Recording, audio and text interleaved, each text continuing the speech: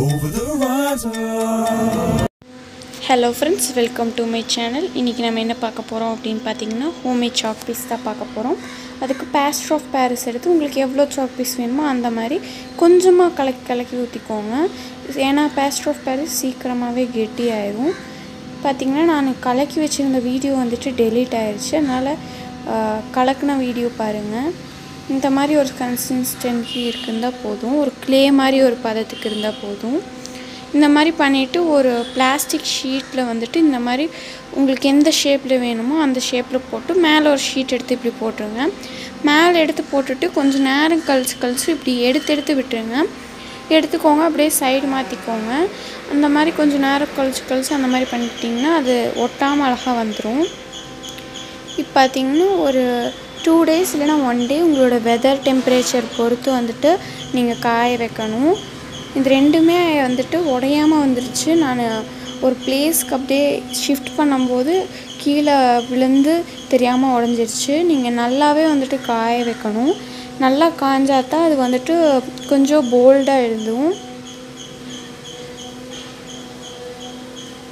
பாருங்கள் இந்த மாதிரி ரெண்டாக உடஞ்சிருச்சு. நீங்கள் எவ்வளோ சாக் பீஸ் வேணுனாலும் கொஞ்சம் கொஞ்சமாக செஞ்சுக்கோங்க.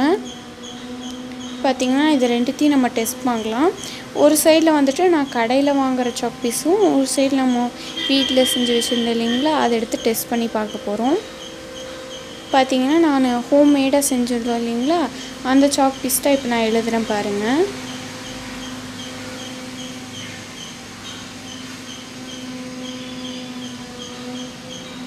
நீங்கள் நல்லாவே இதை காய வச்சுக்கோங்க. பார்த்தீங்கன்னா கொஞ்சம் லைட்டாக தான் எழுதுது. இதுவே பார்த்திங்கன்னா ரொம்பவே நான் காய வைக்கல. ஒரு நாள்லேயே நான் எடுத்துட்டேன்.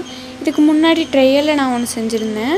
அதை வச்சு நான் இப்போ எழுதி காமிச்சிருக்கேன் பாருங்கள் இப்போ நான் வந்துட்டு கிச்சன் அப்படிங்கிறது எழுதுறது வந்துட்டு கடையில் வாங்கினது.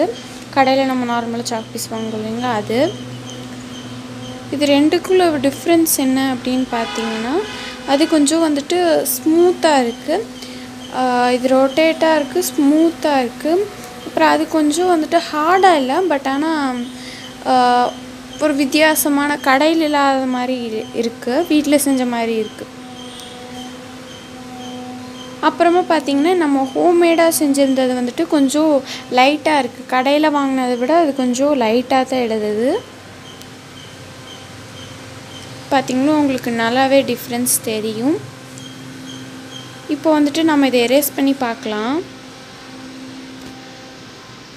இப்போ நான் இதை எரேஸ் பண்ணிகிட்ருக்கேன் பாருங்கள் இது நல்லாவே ரெண்டுலேயுமே வந்துட்டு ஹோம்மேட் சாக் பீஸும் சரி கடையில் வாங்குகிற சாக் பீஸும் சரி ரெண்டுமே நல்லாவே எரேஸ் ஆகுது.